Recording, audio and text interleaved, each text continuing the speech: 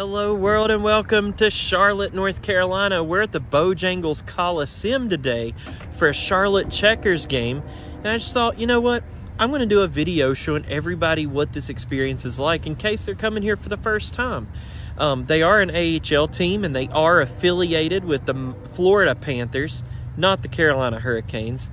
But I can like both, right? It's not illegal. Anyways, let's go have some fun. I just realized that I mentioned it was the Charlotte Checkers and that they were AHL, but I don't know if everybody knows this, but they are a hockey team. I definitely suggest coming out here and seeing a hockey game. If you're on the fence about seeing about liking hockey, you gotta experience this. It is a ton of fun. Now AHL is like kind of like the minor leagues to NHL, but they put on a good show. This is a really fun experience, and you're about to see why I say that. Right here is the main entrance up front, but they do have a side entrance over here that they've been letting people also go through. And the line is much shorter if you go over here. So let's head that way. And here it is right across that bridge. You'll see that sign and it is to the right of the entrance. Not too far. I mean, I'd say maybe like 30, 40 feet from the main entrance. So it's not that far away. You don't have a huge walk or anything. All right, we checked in here and we're headed over to the Bojangles Coliseum. We do have an auditorium behind me called Ovens Auditorium, but we're headed the opposite direction to the uh, Coliseum. That's where the hockey team plays. And let me just say, the restrooms that you see on your left here are really good restrooms. They're usually a lot less crowded, so if you got little kids or something, I definitely suggest coming towards section 113, coming towards the Ovens Auditorium and using those restrooms. All right, we just left that walkway over there where Ovens Auditorium is, and we're gonna head down because we have reservations to go to a um, restaurant they have down here called the the Red Line what? The Red Line Club. You make online reservations. I'll try to put a link or something to more information about that downstairs. But the players kind of walk through the Red Line Club. And this is not it, so I made a mistake. We gotta go to another little dip in the area. So this is not where it is. But you do have Hungry Howie's Pizza with some things here, some snacks and all. Let's go find the Red Line Club. So they sent us down this little hallway to come to another little dip over here. And this is where the Red Line Club is. And we're gonna have dinner here. And then the players are gonna walk through to uh, go to the ice. So we get to kind of see them up close and personal. And there it is, Red Line Club in the bottom left. And I just wanted to show you that is near section 119 to 121. So I learned from my mistake. Go straight to section 119 and go down these stairs and you'll be right there at the Red Line Club. You can have some food. Here's a quick menu scan. Look at the food, look at the prices. I can't guarantee they're all gonna stay exactly the same, but you can pause the video right now if you wanna look at, a, look at it a little bit better. There's where we came in. Look how awesome this scenery is here. They, they won the Calder Cup, which is like the Stanley Cup for AHL in 2019. So they have a nice mural there. I'm gonna zoom in on it for you. And here's what the restaurant looks like. The players are gonna come through right there. I don't know if you can see, but the Hur the Hurricanes, dear Lord, the checkers emblem is right above where they walk out. And there is a bar back there. So I've never uh, had this experience at the Red Line Club before, but we're doing it now. Let's see what it's like. Here come the players. See, I told you they walked right through the Red Line Club, right underneath this logo that still kind of represents the Hurricanes because it's holding the storm flag. if you notice, that storm flag has been removed off of their jersey logo. Guess I haven't removed it here yet, but come on, checkers. Let's go, checkers.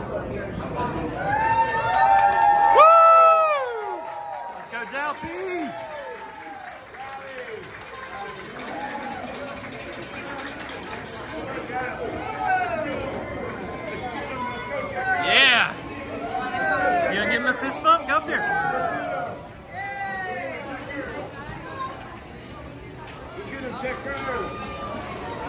Ruben. I got the chubby burger with fries, and this is what it looks like. It Doesn't look half bad. I'm gonna give her a taste and see what I think. I'm trying to make it out there for the pregame show, and I passed the um, the merch stand here, So that is right next to section 119 if you want to come buy a t-shirt or something. And here is the Charlotte Checkers venue, the Bojangles Coliseum. The ice is out there, their mascot is skating. His name is Chubby. He makes laps around here, at least one lap per game to meet all of the kids. While I'm at it, I wanted to tell you how good the food was at the Red Line Club. Let me tell you, my burger was great. It was really good. Cooked perfectly, had a good taste to it. I would go back there again, especially to meet the players. That was a nice little addition to it. Now they play Seek and Destroy by uh, Metallica here. I'm probably going to have to mute it and put some generic music with it.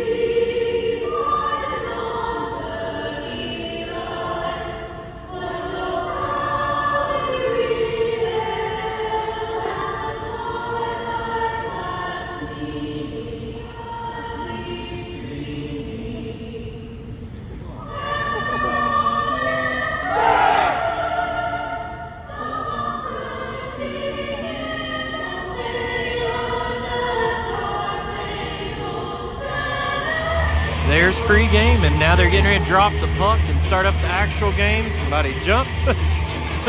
there we go, right there. They dropped the puck, and the game has started.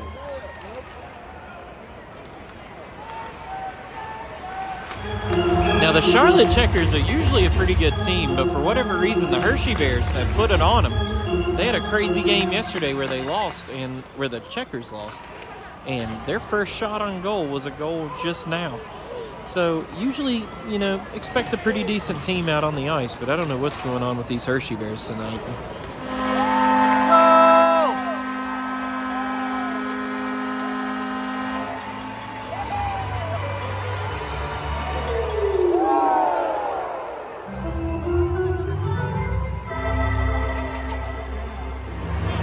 First period's over with, and I think I'm going to take you all outside and show you some of the food places that you can get some food at if you go downstairs to these little places to get food, the lines are usually a lot shorter. They have these little bars set up all around the Coliseum, and they even have some like specialty snacks over here. Now they got those, see how big the line is for this? You can go downstairs and pretty much walk right up to the counter. But um, yeah, they've got these little food kiosks here with like pretzels and funnel cake fries and Dippin' Dots and stuff. All of this is scattered all around the Coliseum, not just here.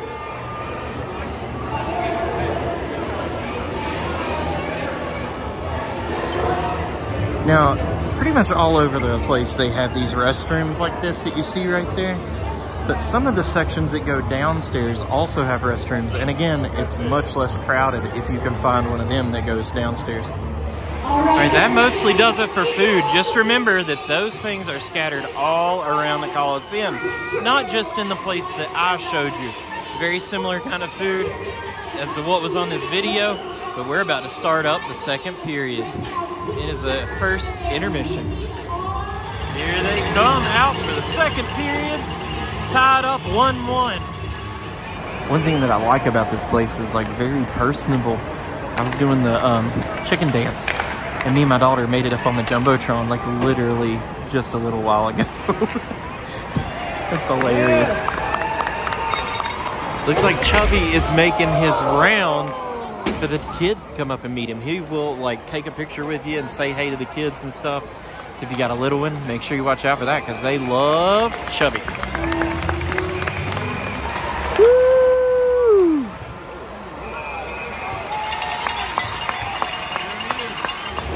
Also want to make note that every Wednesday is Dollar Beer Day. So if you want to come in and uh, drink beer, then, you know, Wednesday is a cheap day to do that if you don't want to deal with people who show up to drink beer, Wednesday might not be a good day to come. You might want to consider another day because it is very popular for beer drinkers. They got the Zambonis out. You see those people right there, that woman in that gray shirt? She is not an actual Zamboni driver. She just showed up to watch the game. So, um, I don't know how they do it, to be honest with you, but you can ride on the Zambonis. You might want to ask about that when you get here. All right, if you go to section 128, you're gonna see like a Charlotte legend, a Charlotte area legend right here. Greazy Keyz. Definitely stop by and say hey to him. He has merch and he gives kids stickers and things, and he is a very nice guy. So definitely say hey to him in section 128.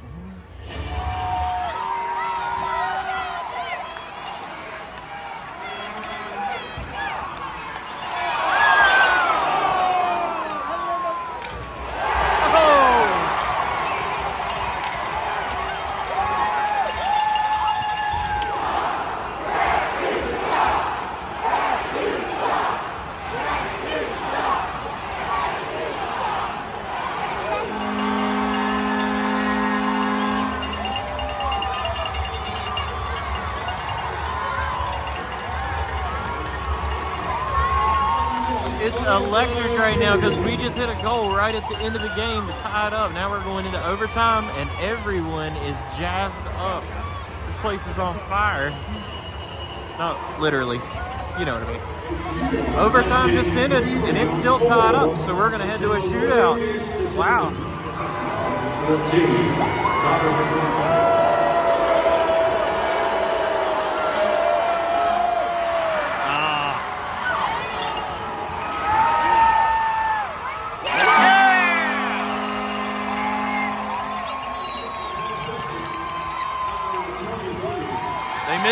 One.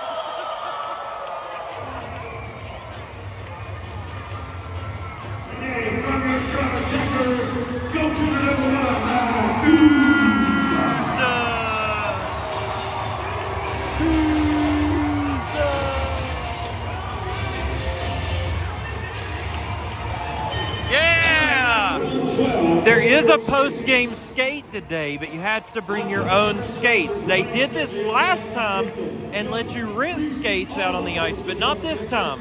So I don't really know, you know, what dates they do have rental skates and what days they don't. But it is really fun. We actually skated laps around here one day and had a blast. It is a really good opportunity. So I definitely suggest checking to see if the game you're coming to has a post-game skate maybe considering skating. All right, y'all, it's the end of the game, and I came over here, like I told you earlier, to talk to Greazy Keyz. This dude is an amazing organist. Oh, so Super much. happy to have you here. Good musician, too. You Thanks just don't so just much. play organ, right? You play a bunch of things. Play a little bit of everything, and uh, always glad to entertain the folks here in Section 127. So come out to a game and come hang out in the grease pit. Definitely do that. He has an Instagram too. Do you have anything else? Facebook? Facebook, yeah. Instagram, Twitter. Those are my three social media uh, sites. Greazy all Keyz. Greazy Keyz, all Yep, there you go. Come see him. All right, y'all, that is it for the video. I hope I covered everything you needed to know to come out here and see what a Charlotte Checkers game was like. Maybe give you a few hints on having a good time here. So I am going to end this video, and I just want to say Thanks for watching and thanks for playing. Bye.